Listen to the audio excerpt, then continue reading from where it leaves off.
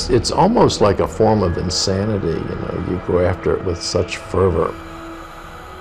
We really want to know what happened and how things developed, and, and we're interested in all sorts of aspects, not just the, the, the piece of metal or wood or whatever that was a vessel, a sailing vessel, but the people that went and, you know, why they went. The War of the States raged, ravaging farm and factory, leaving the South as well as the North disassembled and struggling to reunite as well as recover.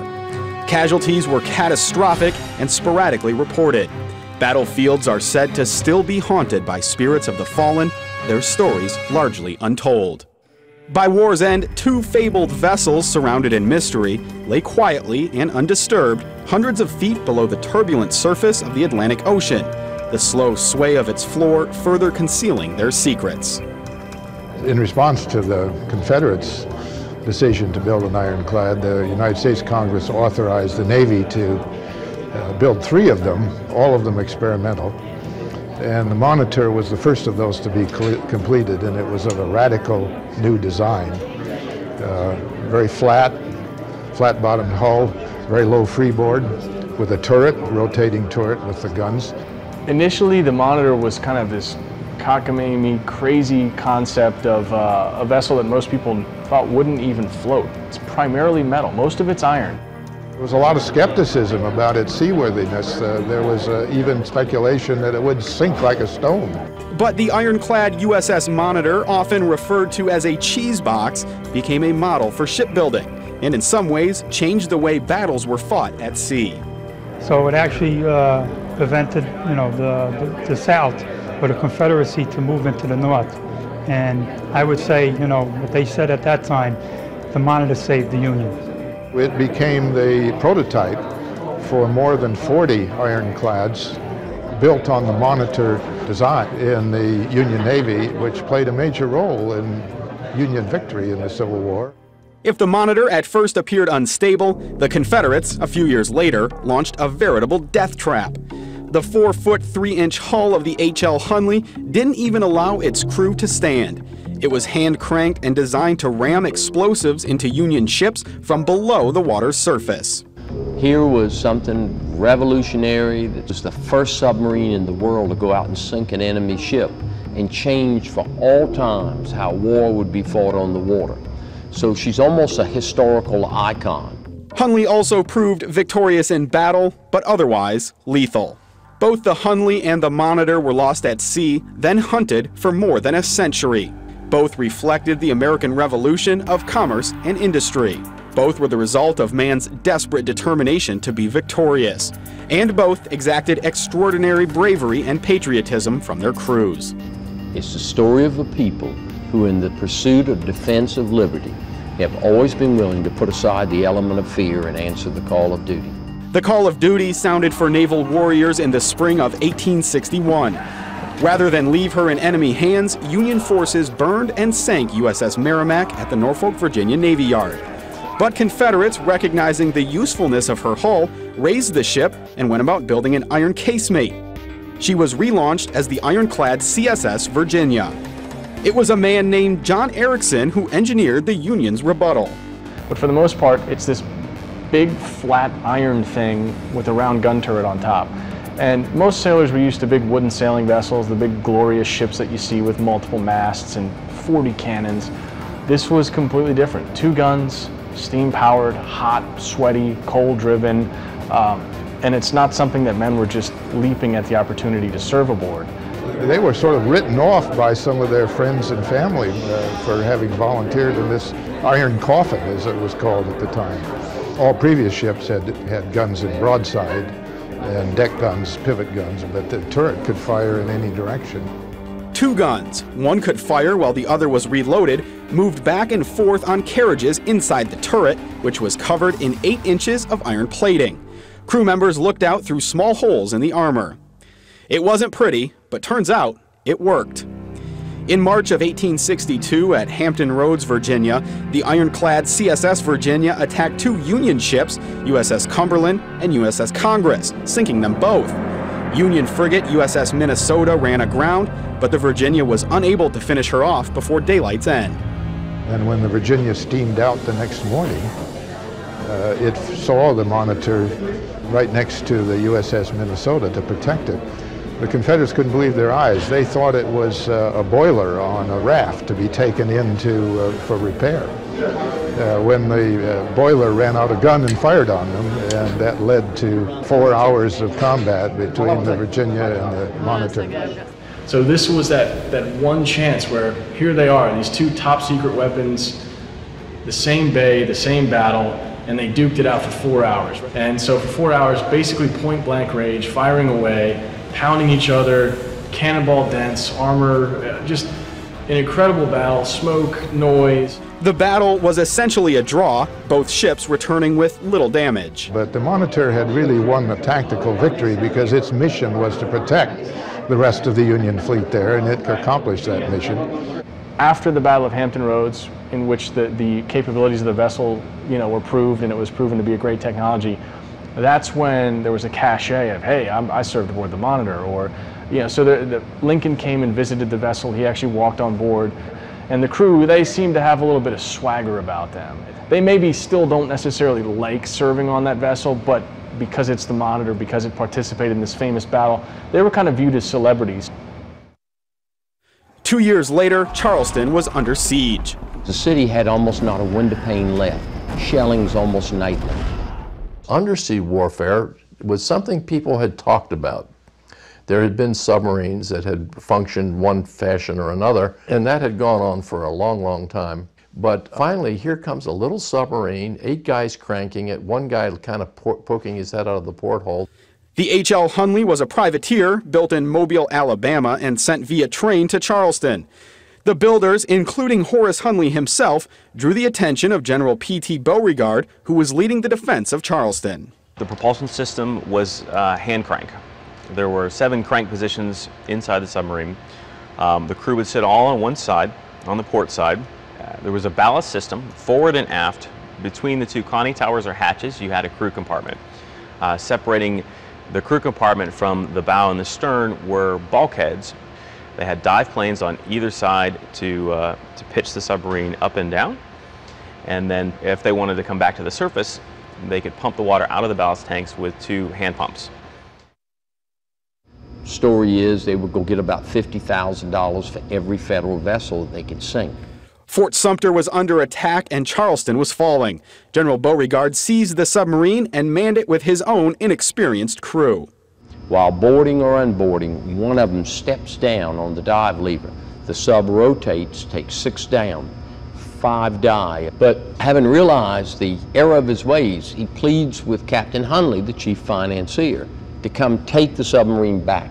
Crew it with volunteers. You do it.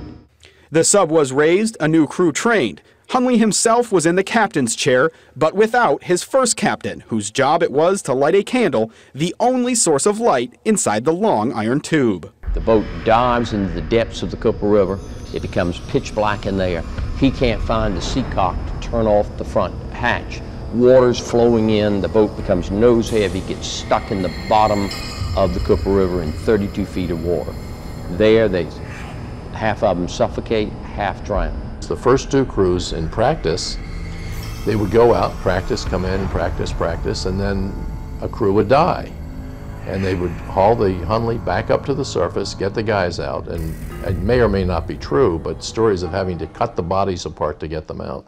In fact, the bodies of the first crew were found 133 years later in an old mariner's cemetery, now a football field. Two graves had multiple body parts inside. One grave contained just one set of remains. One was a, was a, a Confederate sailor of color, and the color of his skin, they didn't get the body parts mixed up. They did with the other ones. For three weeks in October of 1863, the Hunley rested on the bottom of the river, Beauregard unwilling to devote more men or money to what had twice become a tomb. Now enters Lieutenant George Dixon, a young man who's seen the submarine, knows Captain Hunley, comes to General Beauregard and says, please let me have the submarine. That battle told us that from that day forward, the wooden walls, the wooden navies of the past were the past. If you wanted to stay competitive, you would have to build ironclads.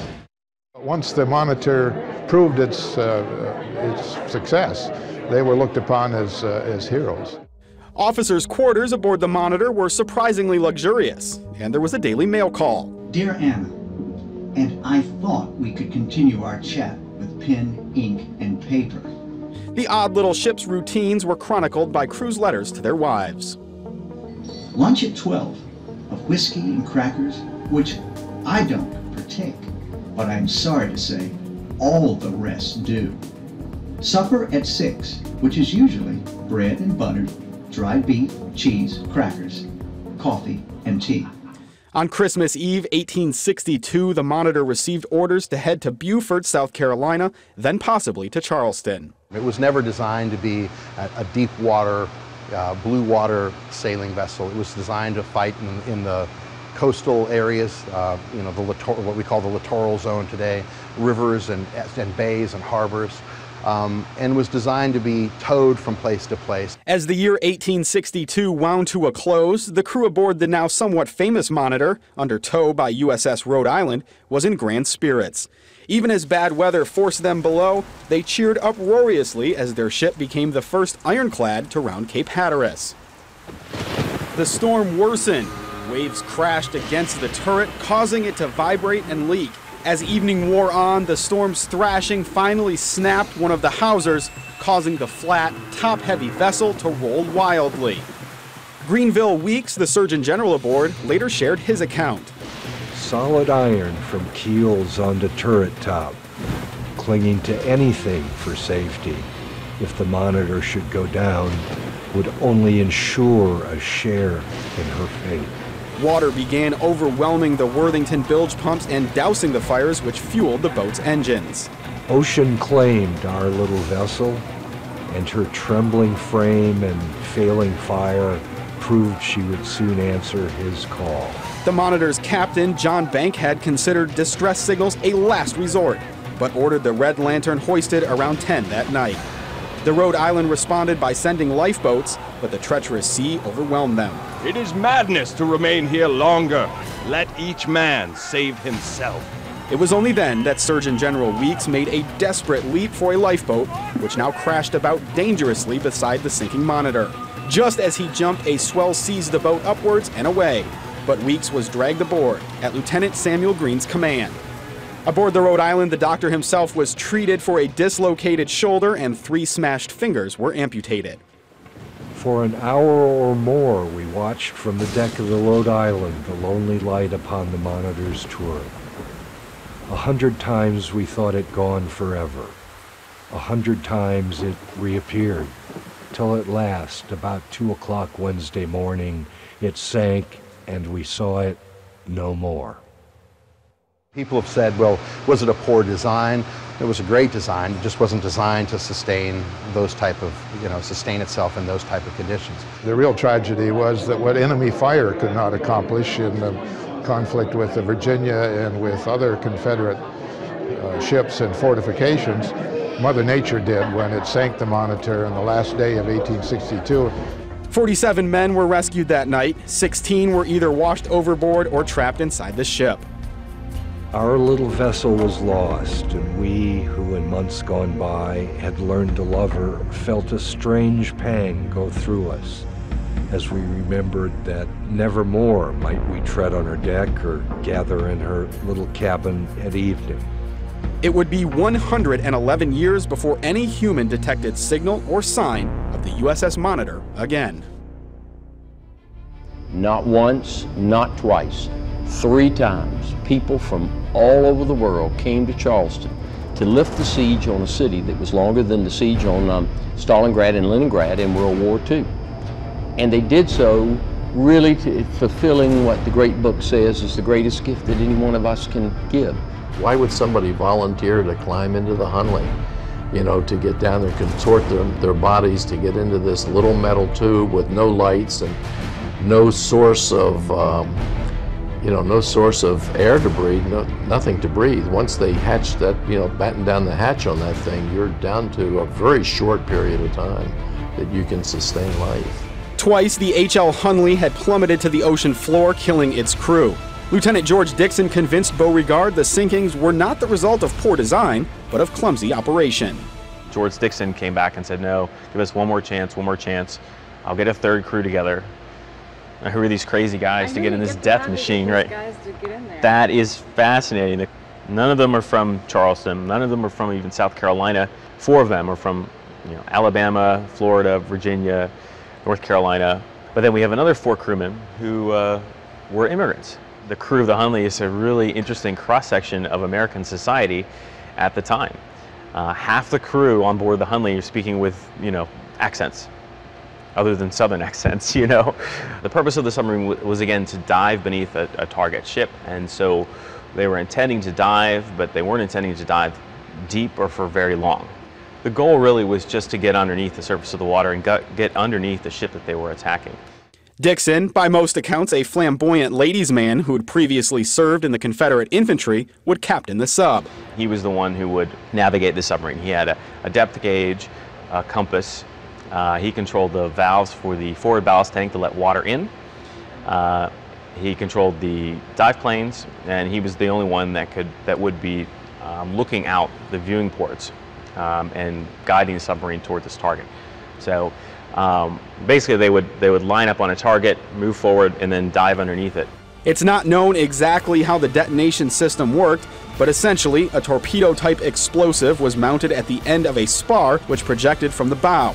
The idea was to ram the spar into the enemy ship below its waterline. She's a great piece of technology. She bumped up on the technological limits of the day. She's 50 years ahead of her time in hydrodynamic design. She's got an air system, the world's first joystick steering. She's got a crew compartment that uh, had a 3 to 1 gear ratio. It's got skylights not known to exist uh, at that time. Confederate naval forces were growing ever more desperate to break the Union's blockade of the Charleston harbor. Dixon and his crew made the 1,240 ton USS Housatonic their target. The sloop carried 12 cannons and a crew of 150. Under cover of darkness, the Hunley slipped low into the water at the breach inlet, moving out around the Housatonic, which was moored bound north. Conning tower exposed, Dixon maneuvered the sub to aim for the ship's starboard aft, then submerged to plan its lethal blow.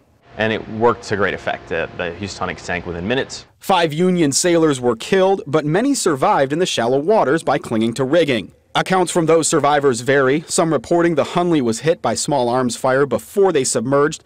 Others report seeing the Hunley surface after the attack, signaling shore of their success with a white or blue light. We don't know exactly what happened, but the Hunley never came back. We want to fill complete that story. We want to tell all the aspects uh, and everything that we can discover about the Hunley and what happened that fateful night, February 17, 1864. The Hunley uh, was something that, that, kind of mystified people. It was it's something like, you know, people wanted to find the Titanic. People wanted to find the, the Hunley. At one point, we got a very strong magnetometer hit. Clyde Smith went along on several search expeditions run and financed by author Clive Cussler in the early 90s. We had four square miles, Housatonic at the very middle, and what we just ran up and down across these one mile squares. And we were running lanes, if you will, like mowing the lawn. The mag hit was significant enough to launch divers. Smith went down to help stake out their find. We had five foot long metal rods that were that could be screwed together. So we would go in there and we would pound these into the sand and then we'd screw another rod and pound that in the sand thing. And we ended up with an elliptical shape pattern of all these little rods sticking up that was the length we were looking for 34 35 feet or something. And it was sort of a cigar a cigar shaped pattern. They uncovered a corner of the metal object but determined that the sort of rivet they exposed belonged to a sunken buoy. They abandoned the site. Years later cussler returned and dug a little deeper and they they dug out some more and that time they found one of the hatches and that's when we knew it was the Hunley. When it was time to find it, it got it was found. So, you know, that's how that worked. And I said, you know, we ought to go get that submarine. We sent a site assessment out to take a look and see, do we have a rusted hulk? Is it gone on the bottom? We don't know anything anything about its construction. All the records are gone and everything. We could see through the viewing ports that the entire inside of the submarine was full of sediment. So we knew we were going to have preservation of the material that we would find inside. For example, the crew's remains were entombed in mud inside an iron coffin, which was then buried. They said an anaerobic environment had set up inside, an oxygenless environment, very early in the history of the vessel. And so they warned us that we could encounter skin, hair, and flesh in the recovery. Suspecting how well preserved the contents of the sub likely were didn't make the recovery any easier. In fact, it made it all the more delicate. It took several years for engineers to come up with a way to move the vessel without liquefying what lay inside. We have only one chance to do this and to do it right. Suction pilings were used to create a foundation which supported slings, cocooning the vessel in the same starboard leaning position in which it was found. We knew we had one design weakness, and that was that the four legs of that superstructure had to hit a moving barge at one time, or two G's would go through it and damage everything. So they were holding the submarine up there over that moving barge. And what we did is we created a 28 second window of smooth water with a dredge barge. And as that traveled under that moving barge and that thing stabilized, that crane operator had to pop it and drop it on there with all four. And I'll never forget that loud, loud thump. And then we knew we had them.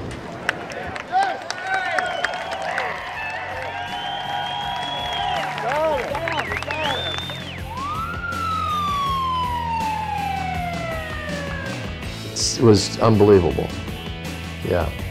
It was like this incredible you know, thing that finally, after all these years, well over 100 years, and here it comes out of the water. It was a wonderful day because it was about four miles in to Charleston's harbor. And when we got near the harbor and came down the jetties, uh, the Catholic Church, Stella Maris, on Sullivan's Island began ringing its bell. And then the other churches in the city started ringing their bells. And on rooftops, there were hundreds of boats going by us. The rooftops across Charleston, the people on roofs and everything, on the battery. They were at the aquarium. They were all over the Yorktown. The traffic came to a halt on the big Cooper Bridge and people are looking over the sides. And it's as though just time stood still for the Hunley to complete the final journey home.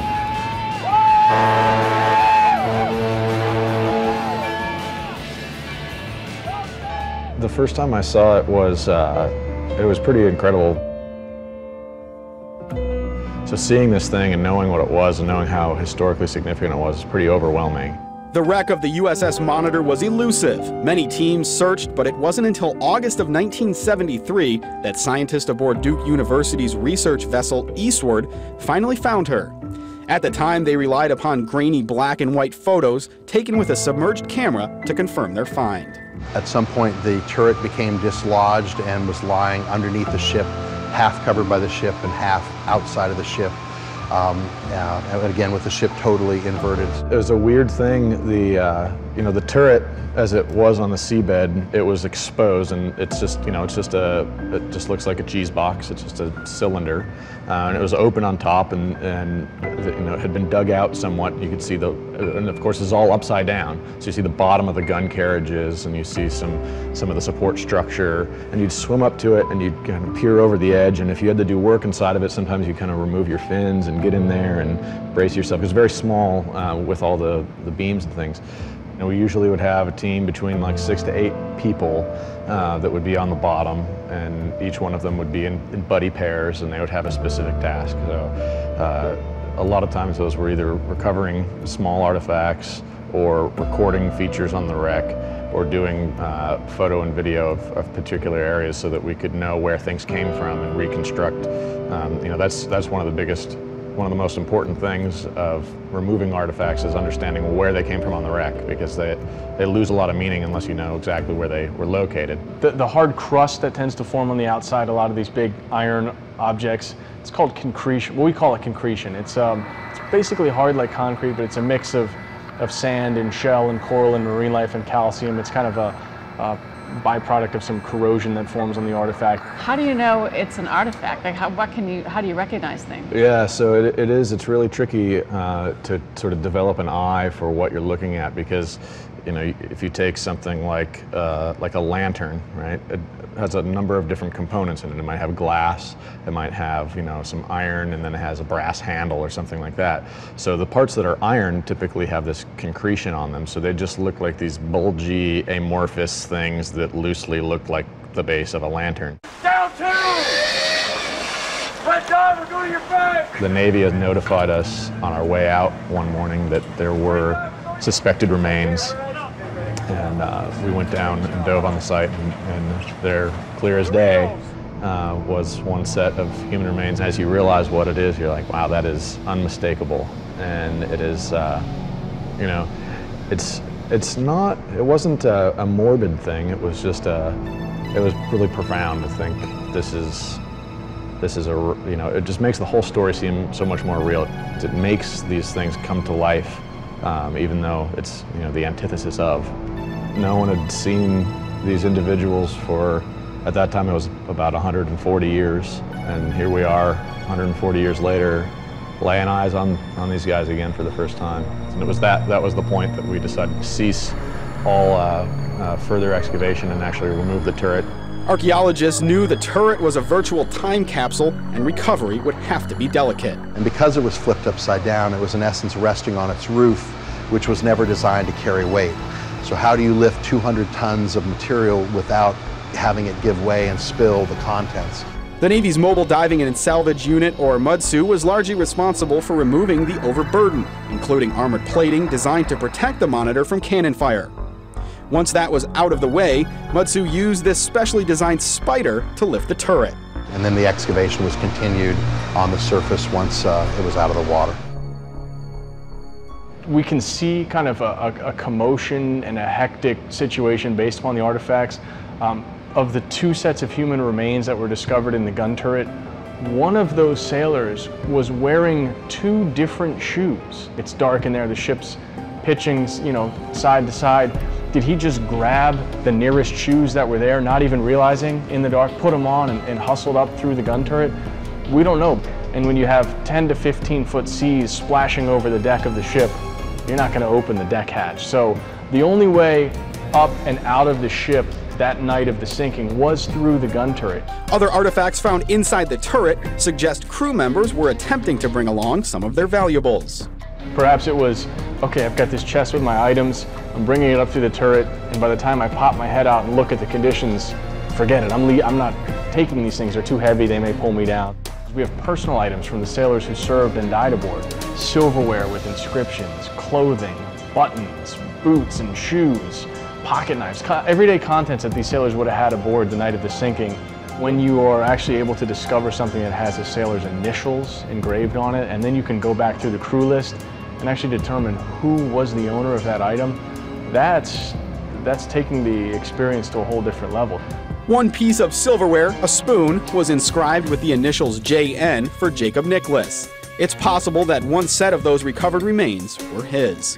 He was 16 enlisted, um, didn't want to go on the monitor, but all his crewmates basically, you know, did, so he didn't want to be the guy that didn't, so he went aboard. Jamie Nicklis is a descendant of Jacob's. He's been able to read a series of letters exchanged between Jacob and his father in 1862. His father sent him a pack, Christmas package, and the next father father's asked her kind of what he wanted. Um, the following letter, he told his father not to send it yet because uh, they were ordered to take the ship out into the ocean and come into a different bay. Um, and they didn't think it was seaworthy whatsoever. They, they had all their, you know, doubts and uh, there was a lot of praying going everything, and uh, so that's the last that we heard from him. Forensic scientists were able to reconstruct the faces from the skulls of those remains. One of the sailors was younger, you know, 17 to 24, 25. One of them was a little bit older, probably late 20s or 30s. Um, the older sailor had a tooth that was slightly carved out from, from smoking a pipe just from wear on it. You know, our nose, our chin and stuff, I mean, I can just see it in this guy right here, but I'm not, I don't know who's who on this picture. I'd love to know. I, I would say this guy right here really looks like him. The rotating gun turret, that remarkable 120 ton piece of 1860s engineering, is here in Newport News, Virginia, immersed in a 90,000 gallon tank. The turret, along with the steam engine, the cannons, and the carriages, are being conserved, that is, stabilized, enough to eventually be put on display at the Mariners Museum. And our primary job here is to actually remove all of the salts that have accumulated inside of these artifacts. If we don't, if we were to say take a cannon, rinse it off, and place it on display, all those salts that are in there are going to react with the relative humidity in the room. Um, if somebody were to walk up and touch the gun, there's salts and oils and things on their hands over time, those guns would fall apart. They would break into pieces, they would corrode on display. Not an option. Archaeologists are occasionally able to get a better look at the turret when the tank is occasionally drained. We know that some of the sailors actually received concussions in the gun turret during the Battle of Hampton Roads. When we go back in and excavate the sediment, we were actually able to locate dents from the cannonballs from the, from the other vessels that actually pushed the armor in and uh, potentially with the locations where those sailors were standing when they received their concussions. They also found dents where the gun carriages slammed into the back of the turret and three small holes through which they could look out at their target. Many of the items recovered prove the monitor was a sign of the Industrial Revolution about to unfold. Most people think Civil War, long time ago, fairly crude, but what we're learning is the incredible mechanical abilities of the, of, of the, of the nation in order to produce these machines and um, the industrial capacity, people producing these pieces in different areas, shipping them to New York. Um, they were all incorporated into the monitor. So it's, it's man in a struggle, but it's also a crazy machine. It's this really interesting hybrid. Remember the Worthington pumps that struggled so mightily the night the monitor went down? That's one of them. This is um, a steam engine, actually the steam piston chamber from one of the two bilge pumps. And as you can see, it's really cracked and fragile. And so what I'm doing right now is one of the first stages is to pacify the surface, put a protective coating on, and that's why you can kind of see it's gone black. The ultimate goal is to keep moisture from entering the surface of the object. So once the object's stable, structurally, physically stable. We then go back in and try to reassemble it, putting back all the small pieces. And so with objects of this size, you have to kind of do it in sections so that you can move it around. Imagine it's like a 3D jigsaw puzzle, trying to figure out where all these small fragments go, and the ultimate goal is to then reposition them in their fitting place. We can tell from the surface texture it was sand cast. We can see the parting line that runs down the whole middle of the mold. And so that's just one little story about, well, how did they do it? How did they make these things? And not only does it talk about the work of the foundry that made this, but it adds to the bigger picture of sort of that, you know, America's move from you know the farm to the to the city to the industry. There's all those little facets that that we can tell and, and share with the public. To me, that's why it's important to save something like the Monitor. Yes, it sank. Sure, it fought in a battle. It was only afloat for nine months. What's the big deal? Well, not only does it tell about the sailors who served, it tells us about life at the time, how people lived, how they died, um, and it's a benchmark for the country. And Here was something revolutionary that supposedly, according to the, the history books, was the first submarine in the world to go out and sink an enemy ship and change for all times how war would be fought on the water. So she's almost a historical icon. The Hunley ended her celebrated journey from the ocean floor here at the Warren Lasch Conservation Center in Charleston, South Carolina. She was immediately immersed in a 55,000 gallon treatment tank. First, a scan was made of the entire submarine, which gave archaeologists a two scale rendering, helping them determine the best manner of access. Initially, they worked through an existing hole in one of the ballast tanks. Eventually, they pulled off the hull plates, essentially the lid on their sunken treasure chest. So we had no idea when we popped the hull plates to get inside and begin the excavation. We had no idea uh, what we were going to find. Yeah. You know, you, you come in 8 in the morning ready to work, you're going to start excavating mud. Not a clue. And there's nobody on Earth that can tell you what you might find. Not living, at least. Delicately scraping through layers of sediment, archaeologists gradually revealed fascinating artifacts, beginning with the bench the crew sat on and dozens of buttons. We had a wide assortment of buttons, plain buttons for their clothing and um, whatever uniforms they happen to have with them. We had uh, Confederate Navy, um, Union Navy, infantry, artillery, so a wide assortment of buttons. There wasn't a uniform for the Hunley, it's just whatever branch of, this, of military service they had already been serving in, uh, they had their, uh, their, uh, their uniforms from that. About two months into the excavation, the first human remains were discovered. What followed was amazing and critical to solving the mystery. Is a crew so well preserved in their bone structure, their brains are still in their heads. We spent a lot of time and uh, tried our best to be as accurate as possible with the mapping and recording of all of the, the bones, every single bone from each crew member. After the excavation, we took all the long bones. Basically everything except for the hands and the feet were scanned with a laser scanner. And then we made a, a reduced but one-to-one -one scale accurate 3D model of each bone and then brought it back uh, and lined them up with the points that we collected during the excavation. So you can point there. Each crew member, a different color, dark and light. For example, the green means left and right sides. There was an entire spinal column that was articulated. Now obviously, and you can see the ribs still lined up. Nothing is attached anymore, but this man's torso ended up um, with his back down at the bottom of the submarine. The result, a depiction of where each crew member died. Each crewman's remains were pretty much, uh, had, they had decomposed at their stations. There wasn't a whole lot of commingling, there wasn't any evidence at all that these guys were fighting to get out. The more I looked at it, the more I realized it's almost impossible that these guys were conscious and drowning based on the disposition of their remains. Now, were they incapacitated by the explosion, um, knocked out, something like that? Uh, it's possible. Um, otherwise, we have to come up with another way for them to, to uh, die at their stations without any attempt to, to get out. It's possible they had become stuck in the mud and ran out of air. But remember, there are reports from survivors aboard the Housatonic that the submarine surfaced and signaled shore. What we're doing is, is compiling all the evidence, looking at all the clues, and see what direction they point. What uh, theory of the sinking do they suggest? Do the same, we apply the same basic investigative techniques as detective work, crime scene investigators. We're doing the same thing, we're just doing it for extremely cold cases. Captain George Dixon's story is the most chilling of cold cases. His remains were pretty well articulated. He was sitting in his seat almost like this with his hand back and he was embedded in the sediment. So we will go bring him out in, in what we call a block lift, which is with the sediment around him. Dixon, by some accounts, had a girlfriend by the name of Queenie Bennett back in Mobile, Alabama. The story went that she'd given him a gold coin when he went off to fight in the Confederate infantry in 1861. And he carried it with him at the Battle of Shiloh on April the 6th, 1862.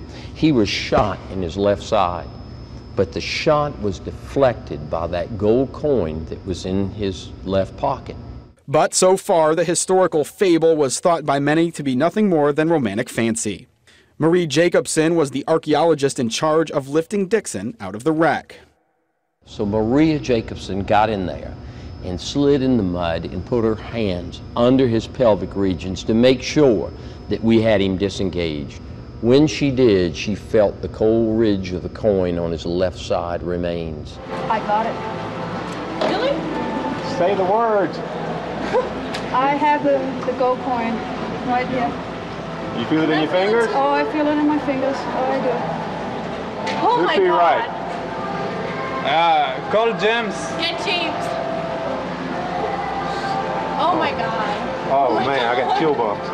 On the coin is inscribed Shiloh, 1862. My life preserver, GED. When we pulled the coin, the coin is warped, it's bent. The lead is still on Lady Liberty's bonnet where the shot struck. And when we looked at George Dixon's remains, he has the calcium deposits here on his bone where the coin was pushed into his flesh. In his right pocket, an 18 karat gold brooch embedded with 38 diamonds and a Kentucky Colonel ring bearing 8 diamonds, one of them a full carat. This is Dixon's watch. Uh, the gold pocket watch was found well in his pant pockets.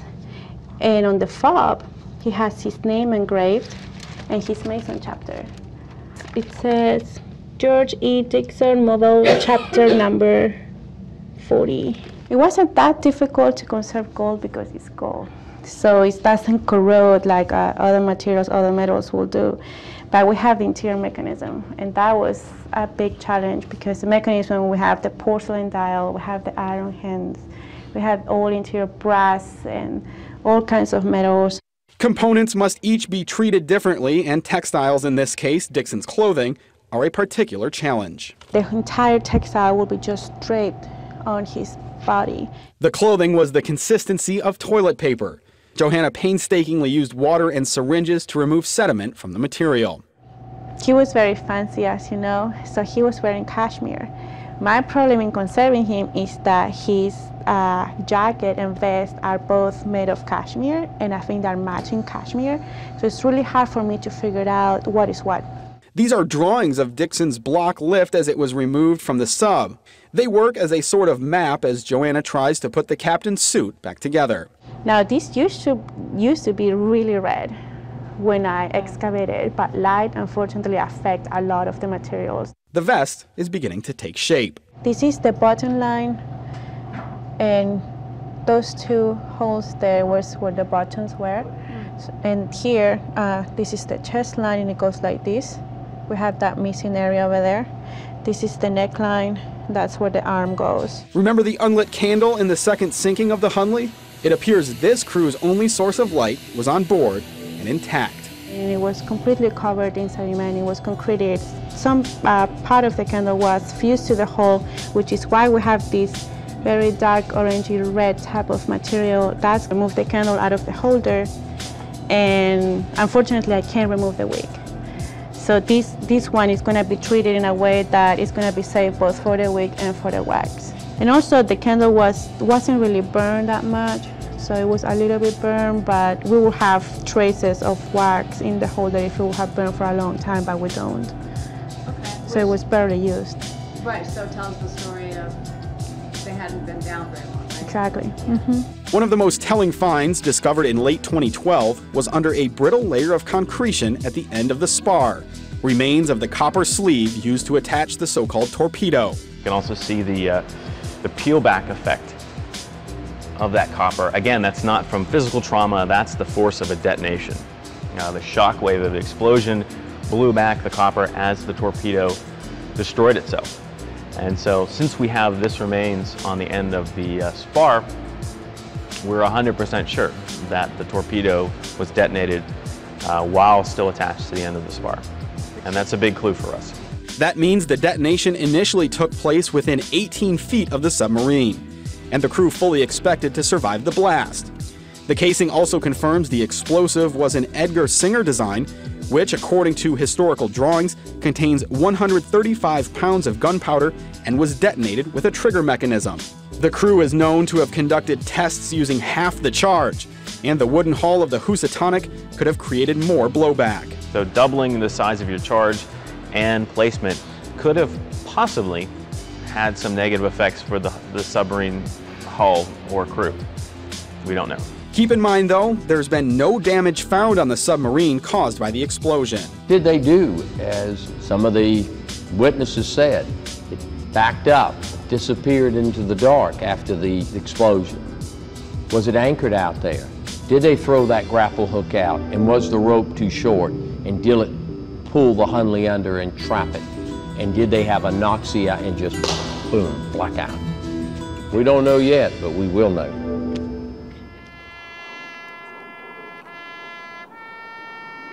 Even after 150 years, the nation's commitment to bring you home is as good today as it was during the Civil War.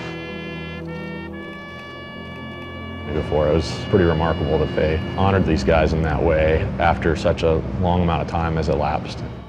On March 8, 2013, the 151st anniversary of the Battle of Hampton Roads, the remains of the two sailors recovered from USS Monitor were laid to rest. However, having raised those remains, we brought them here to the National Military Cemetery founded during the same great conflict, for which they gave, in President Lincoln's words, their last full measure of devotion. It was kind of nice, though, to see it concluded. The site where about 80% of the Monitor wreck still lies is now a National Marine Sanctuary, another first. The remains of 14 other men may still be buried there. This is something that I can assure you the crew of the Monitor back in 1862 never would have imagined they'd be involved with. But in the end, that sacrifice and that contribution may be as, as equally as, as effective and powerful as, as what they did on March 9th uh, in helping us to, to be better citizens and uh, caretakers of the sea. Until 2011, the H.L. Hunley sat at the same 45 degree angle at which she landed on the ocean floor in 1864. Once the artifacts were recovered, she was rotated upright. She's undergoing preservation, and archaeologists are figuring out how to safely put her on display. Her crew received a burial service in line with the crew who went before them. You could hear the clump of the horses and the soldiers passing by and the coffins, and it was like going back to the burial that was given to Horace Hunley. All three crew remains now lie at Magnolia Cemetery in Charleston.